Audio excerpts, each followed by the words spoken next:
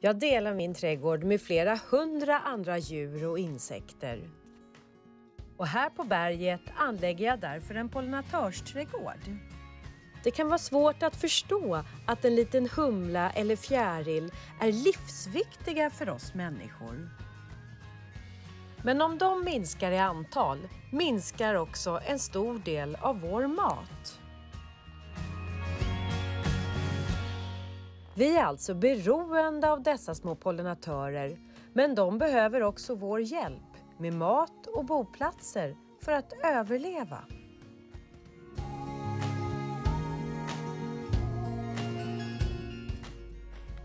Följ med mig när jag ger bort en del av min trädgård till dem så hoppas jag att du också vill göra detsamma hos dig. Nu skulle man ju vilja ropa till alla fjärilar och humlor och vildbin att middagen är serverad.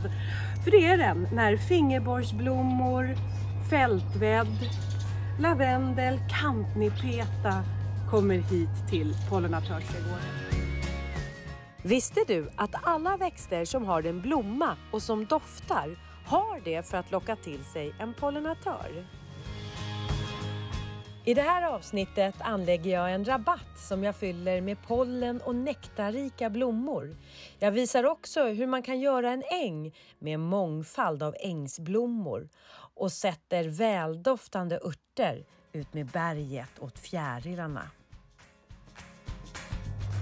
Dags att plantera!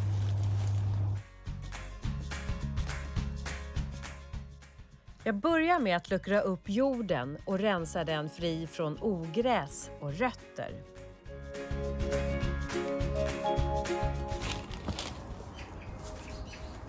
Det här är kogödsel. Kogödsel behövs för att tillföra näring och mull och kommer få växterna att trivas.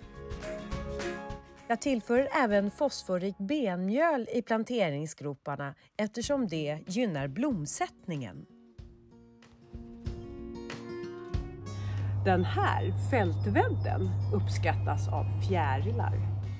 Fältveddens flata blomställningar blir lättillgängliga landningsplatser för dem. Det här är fingerborgsblomma. De tycker humlor speciellt mycket om. Humlor vill gärna ha klockformade blommor eftersom klockan skapar ett vindskydd åt den noggranna humlan. Vildbin däremot tycker om de flesta blommor förutsatt att de är rika på just nektar och pollen. För att du enkelt ska hitta en pollinatörsväxt är ett tips att hålla utkik efter den här symbolen hos blomsterlandet.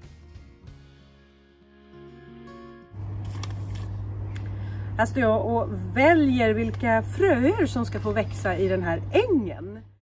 Men innan jag kan så mina ängsblommor måste jag gräva om jorden och göra den näringsfattig.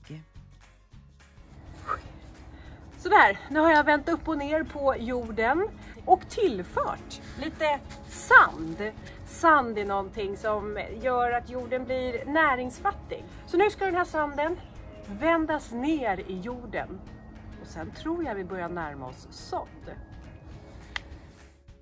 Jag krattar ytan jämn. Därefter vattnar jag jorden innan det är dags för sådd. Den här äh, nektarblandningen den innehåller bland annat reseda och gurkurt, honungsfacelia och praktmalvia. Jag sår fröerna jämnt fördelat över hela ytan.